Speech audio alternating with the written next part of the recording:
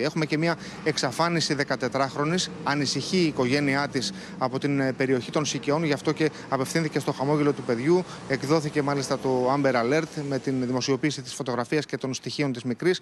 Όποιος δει κάτι, να βοηθήσει τις αρχές με ένα τηλεφώνημα στις αστυνομικές υπηρεσίες ή στο χαμόγελο του Να τη παιδιού. δούμε, στα μπράβο. τα εξαφανισμένα παιδιά.